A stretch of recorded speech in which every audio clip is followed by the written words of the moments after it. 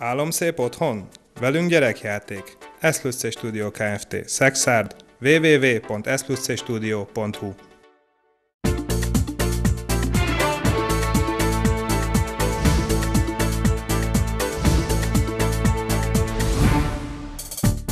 Érettségi 2019 a diákok szerint nehezebb volt a magyar feladatsor, mint tavaly.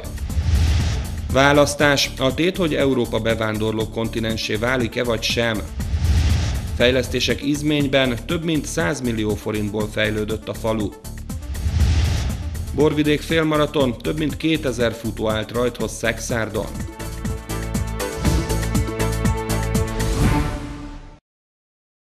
A Tolnatáj Televízió híradóját látják, köszöntöm Önöket! Tolna megye valamennyi középiskolájában megtartották hétvégén a ballagásokat. A Szexárdi Garai János gimnáziumban 108 végzős diák intett búcsút az Alma Máternek, Tolnán 54-en ballagtak el szombaton, és mások mellett a Bátaszéki, illetve a Gyönki gimnáziumban is felhúzták a tarisznyát az utolsó éves tanulók.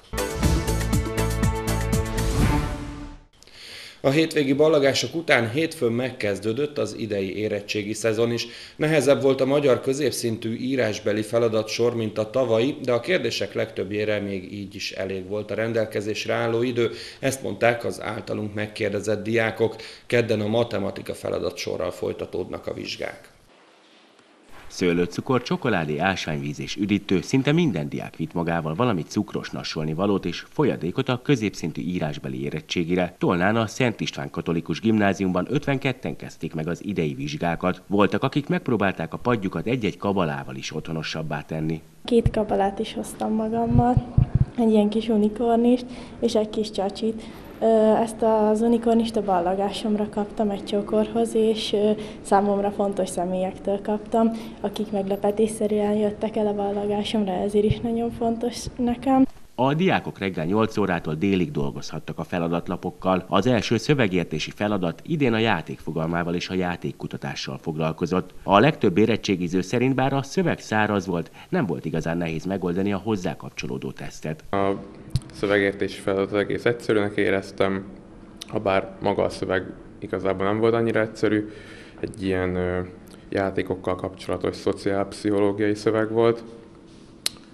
Ö, a második felében ott sem akadtak igazából különösebb gondjaim. Az első feladatlap második részében egy érvelési vagy szövegalkotási feladatot kellett megoldani. Idén egy a szinkronizált filmekről szóló érvelést, vagy egy régészeti leletről szóló hivatalos levelet választottak a diákok. Ezután egy Mándi Iván novellához kapcsolódó műelemzést, vagy József Attila és Radnóti Miklós egy-egy versét összehasonlító elemzést kellett elkészíteni. Egy kicsit nehéz volt, mint 20. századit elemezni. Ugye mindig olyan klasszikus novellának az elemzését tanuljuk, ahol egyértelműen el lehet határolni az egyes részeket. Most itt a 20. században ez már így kicsit átcsúsztak a egyes részek. Az idei írásbeli érettségig kedden a középszintű matematikával folytatódnak. A május 26-ai európai parlamenti választás történelmi jelentőségű lesz. A tét ugyanis, hogy Európa bevándorló kontinensé válik-e vagy sem. Erről beszélt Szexárdon egy lakossági fórumon Magyar Levente, a külgazdasági és külügyminisztérium parlamenti államtitkára. Horváth István, a Tolnai megyeszékhely országgyűlési képviselője pedig azt mondta, már több mint tízezer támogatói aláírás gyűjtöttek össze a kormánypártok csak Szexárdon és környékén. A 2015-ben kirobbant migránsválság rámutatott arra, hogy Európa identitásválsággal küzd. Most arra teljesen egyértelmű, hogy az unión belül nincs egységes álláspont azzal kapcsolatban, hogy miként viszonyuljanak a szövetséges államok az ideérkező több millió bevándorlóhoz. A május 26-ai európai parlamenti választás ezért történelmi jelentőségű lesz. A tét ugyanis, hogy Európa bevándorló kontinensé válik-e vagy sem. Ezt mondta a külgazdasági és külügyminisztérium parlamenti államtitkára Szexárdon megtartott lakossági fóruma előtt semmiképpen nem vár ránk könnyű munka, bárhogy is alakul a választás. Nem kiabálnám el a győzelmet, de arra szerintem biztos számíthatunk, hogy eltolódnak az erőviszonyok abba, a, a mi táborunk irányának a javába, javára, és az a mainstream politika, az a fősodorbeli politika, ami ma Európát vezérli, az egy nagy ütést fog kapni. Mi legalábbis magunk erejéhez mérten mindent megteszünk ezért. Horváth István a Szexádi választókerület kormánypárti országgyűlési képviselője azt mondta, hogy a Fidesz és a KDNP aktivistái az elmúlt hetekben már több ezer támogató aláírás gyűjtöttek össze, de a cél még messze van. Több mint tízezer aláírást már begyűjtöttünk. Következő két-három hétben tovább is szeretnénk fokozni az aláírásokat, nagyon sok aktivista segíti a munkákat. Terveink szerint a választás végig mintegy 15 ezer aláírást tudunk a választókerületben a Fidesz KDNP támogatására, illetve Orbán Viktor miniszterelnök úr programjának a támogatására legalább összegyűjteni. A sajtótájékoztatót követően Magyar Levente és Horváth István lakossági fóruma teltház mellett zajlott a Szexádi Plac közösségi tér nagy termében. Több mint 100 millió forint értékű fejlesztés sorozat fejeződött be Izményben. A faluban a vidékfejlesztési és a terület és településfejlesztési operatív programoknak köszönhetően felújították a sportöltözőt, az óvodát, az orvosi rendelőt és különböző munkagépeket szerzett be a helyi önkormányzat. Fiaik legyenek olyanok ifjúkorukban, mint a nagyra nőtt palánták, leányaink pedig, mint a faragott oszlopok, amilyenek a palotákban vannak. Amen. Két lelkész áldotta meg a kibővített óvodát Izményben. A terület és településfejlesztési operatív program, valamint a vidékfejlesztési program forrásaiból felújították a településen az orvosi rendelőt, a sportegyesület öltözőjét és az óvodát. A település egy traktorra, egy hozzátartozó hótolóra és két munkagépre is beruházott. Ezekre a fejlesztésekre a kormány több mint 100 millió forintot biztosított Izménynek. A polgármester köszöntőjében elmondta, reméli, hogy a fejlesztések hatására több fiatal költözik a településre, mint vándorol el. Ezek a fejlesztések, ezek, ezek azért az élhetőbb település kategóriát nézzük. Itt a településünk egy eléggé elhagyatott település volt, mondhatnám úgyis, és, és minden, most mindent megteszünk, amióta én itt vagyok 2010-től, hogy ez a település élhetőbb legyen. A felújított intézmények és a munkagépek átadásán részt vett Potápi Árpád János, nemzetpolitikáért felelős államtitkár, aki kiemelte, hogy a két programnak köszönhetően javul az életminőség a falvakban, és ez kulcsfontosságú a tekintetben, hogy megállítsák az elvándorlást a kisebb településekről, és élhetőbbé tegyék azokat. Az elmúlt egy-másfél évben közel 123-124 millió forintos fejlesztési forrás érkezett ide, különböző fejlesztési lehetőségek, pályázatok révén, VP-s pályázat, topos pályázat, illetve egy BMS pályázat jött ide a településre. A terület és településfejlesztési operatív program céljai közé tartozik a foglalkoztatottság növelése és a társadalmi összetartozás javítása. Tolna megye erre a célra 27,5 milliárd forint támogatást kapott a magyar kormánytól.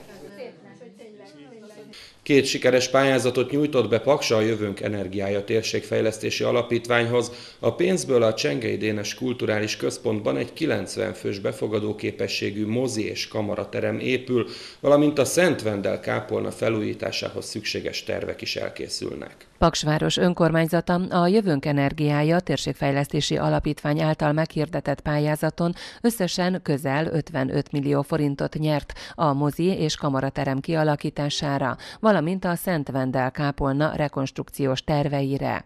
A Csengei Dénes Kulturális Központban kap helyet a 90 fős befogadó képességű mozi és kamaraterem, mely több funkciót tölt majd be. Nyilván úgy lesz kialakítva, hogy a mozifilmek megtartása alkalmassá téve hangelnyelő falak, akusztikus álmegyezet, tehát egy abszolút modern, 21. századi moziterem kerül kialakításra, amely nyilván ahogy az előbb említettem, kamara előadások és koncertek tartására is alkalmas, pont az előbb elmondottak miatt, hiszen olyan lesz a teremnek az akusztikája, hogy egy egy akár egy koncert, kisebb koncert megtartására is alkalmas lesz.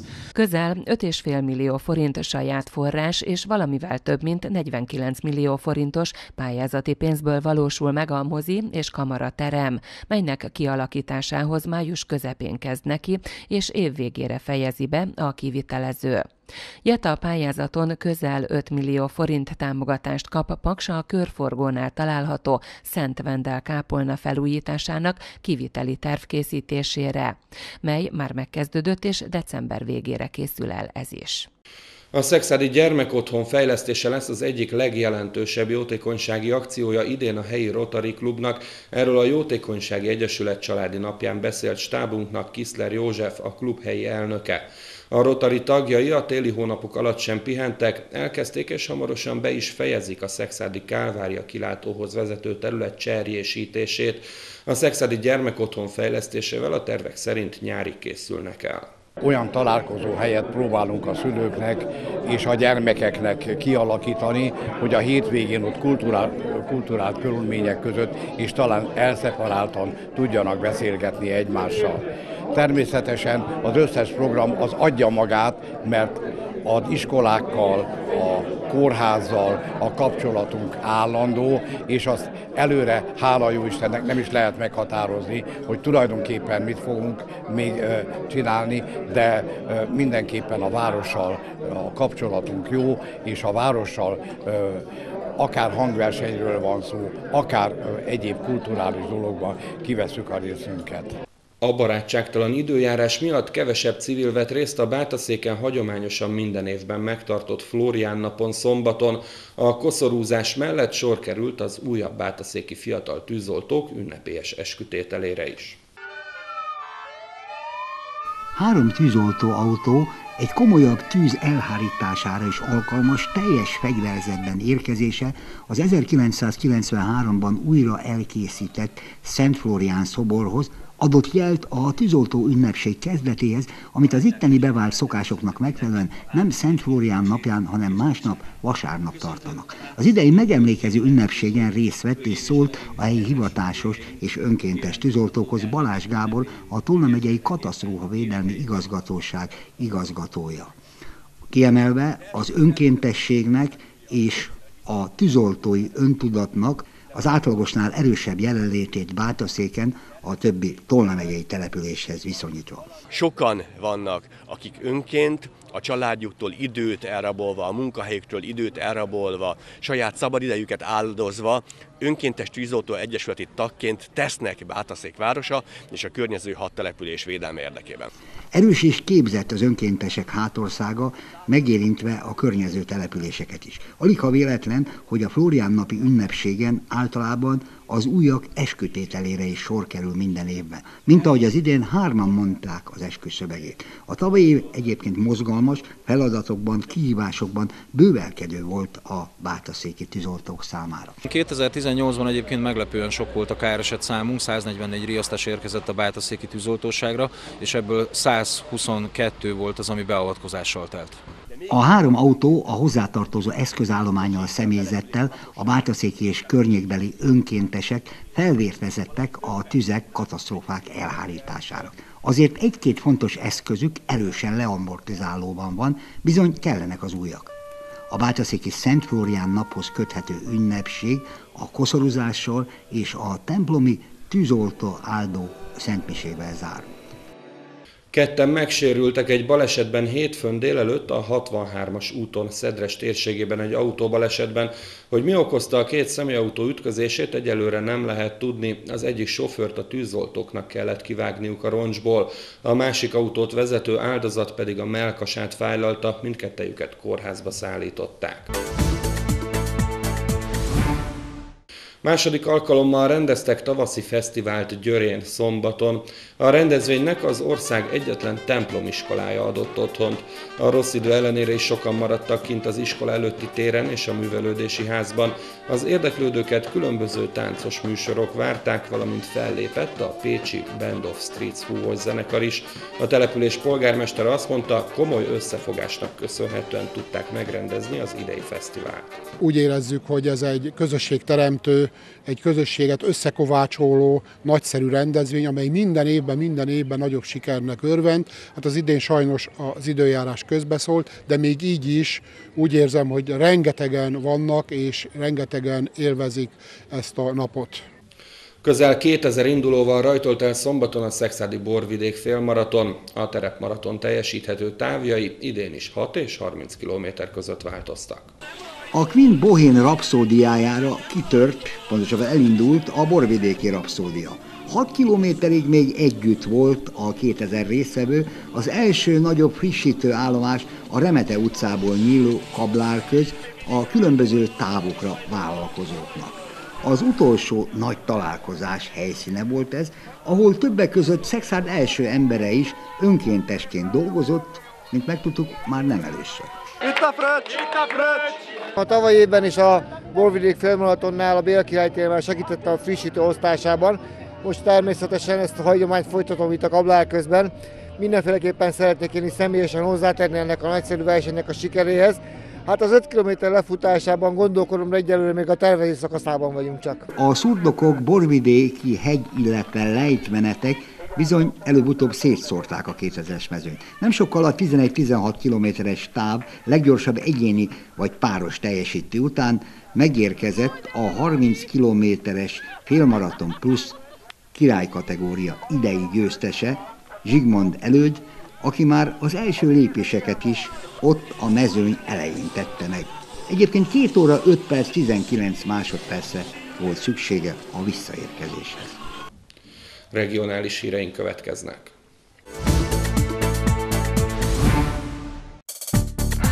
Hogyan kapcsolódhat Baranya a Paks 2 beruházáshoz, tájékoztató a vállalkozók napján.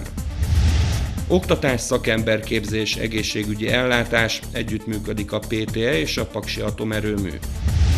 Szűzanya szobrot állítottak az áldozatokért, újabb mementó őrzi a lengyel busz tragédia emlékét Balaton keresztúron. Milyen lehetőséget jelent a baranyai vállalkozásoknak a Paksi atomerőmű bővítése, hogyan kapcsolódhatnak be a beruházás munkafolyamataiba? Erről tartottak kerekasztal beszélgetést és fórumot a harmadik vállalkozók napján Szentlőrincen. Az eseményen a cégek vezetői megismerkedhettek a Paks 2 építése során várható munkaigényekkel, körülményekkel. Erről a beruházásért felelős vezetők beszéltek.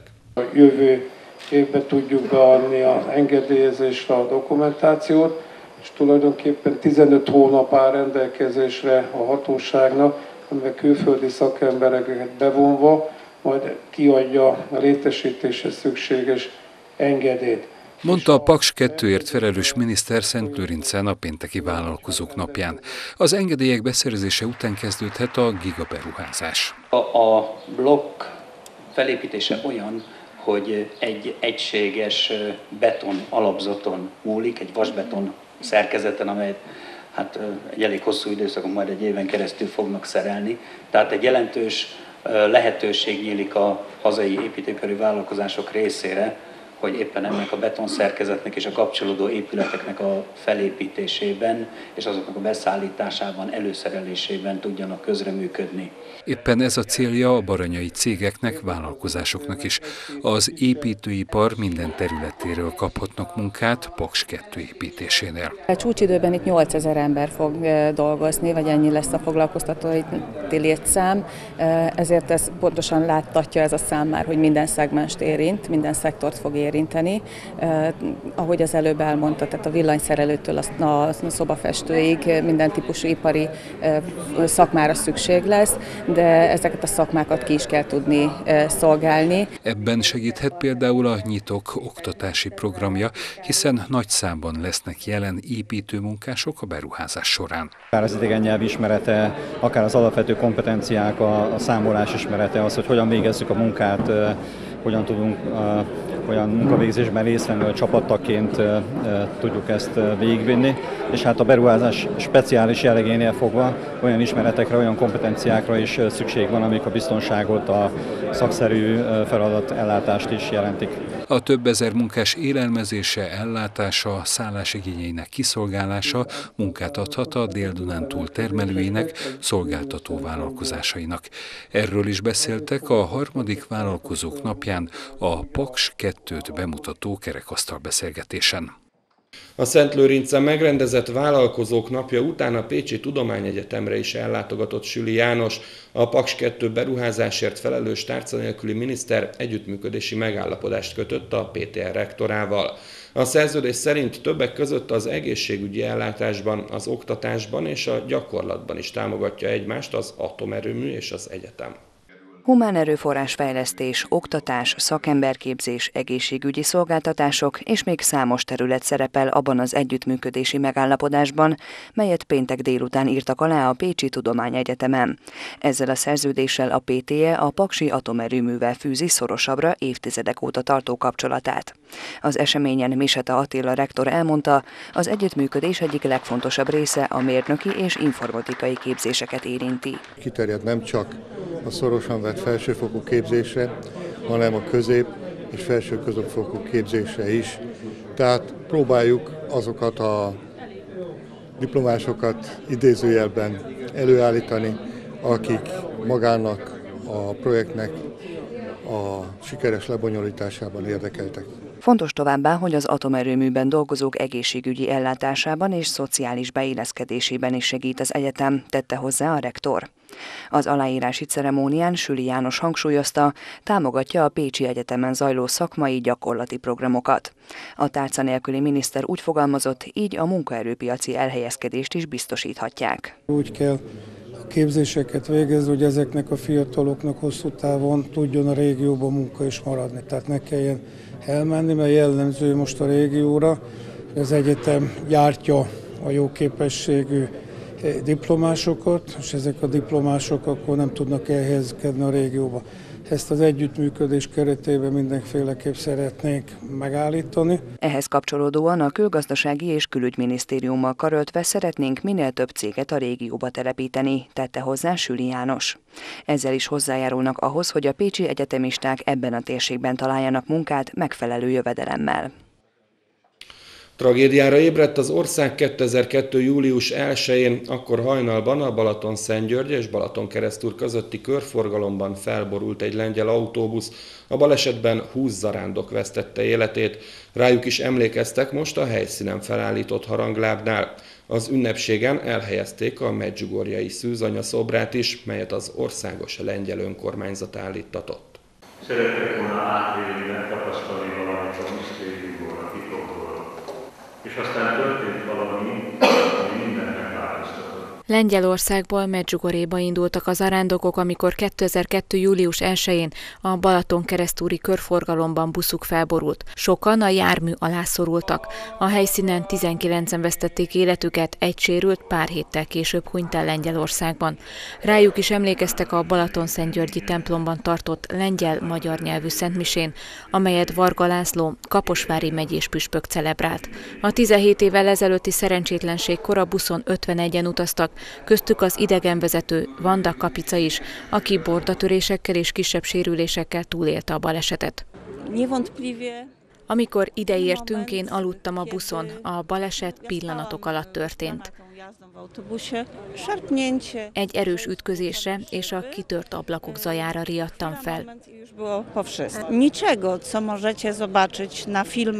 Nem olyan volt, mint amilyen az amerikai filmekben, hogy ilyenkor kitör a pánik és mindenki kiabál. Halálos csönd volt, csak jajgatásokat és imákat hallottam.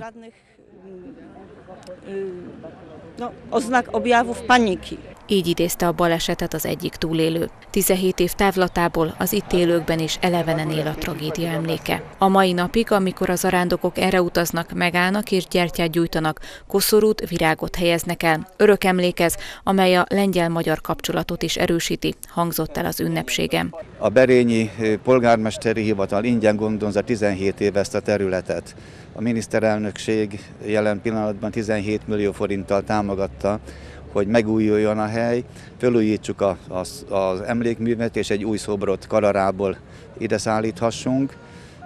És el kell, hogy mondanom, hogy Mirko Fellicsi, szobrász család mostani legfiatalabb sarja készítette, és a megbízásunk után két hónapon belül kifaragta a szobrot. A túlélők példát mutattak, hiszen a hitből és a reményből föl lehet épülni egy ilyen tragédia után, hangzott el az emlékhelynél, amely a lengyel-magyar kapcsolatok jelképe is. Nagyon fontos, hogy az a barátság, amely két nemzet között van évszázadok óta, a magyar és lengyel között, amely néha háborúkban, sokszor hála Istennek szentjeikben, közös uralkodóikban, sok mindenben megtestesül, de sokszor pedig a tragédiákban is. És egy ilyen tragédia volt 17 évvel ezelőtt itt a körforgalomban, akkor 20 ember meghalt egy buszbalesetben, több mint 30-an megsérültek, és hogyha tudunk emlékezni a közös fájdalmainkra, a közös szenvedésekre, és ennek emlékét közösen tudjuk ápolni, mint ahogy most is, akkor biztos vagyok benne, hogy az a barátság, ami évszázados, sőt most már egy évezredes, azt tovább tudjuk ápolni a jövőben is. A tragédia 17. évfordulója július 1-én lesz. Végül mutatjuk újra, miről szólt a híradó. Érettségi 2019. A diákok szerint nehezebb volt a magyar feladatsor, mint tavaly. Választás. A tét, hogy Európa bevándorló kontinensé válik-e vagy sem. Fejlesztések izményben több mint 100 millió forintból fejlődött a falu. Borvidék félmaraton több mint 2000 futó állt rajthoz Szexárdon.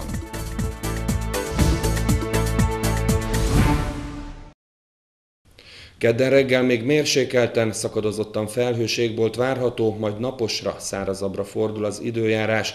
A meglehetősen hideg hajnalt követően napközben már kisi enyhül, de az évszakhoz képest még hűvös marad az idő. Már köszönöm figyelmüket, friss hírekkel legközelebb kedden este jelentkezünk viszontlátásra.